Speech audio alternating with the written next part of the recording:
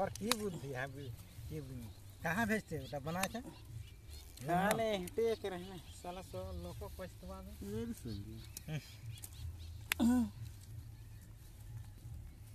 जेंग मास के सीज़न ना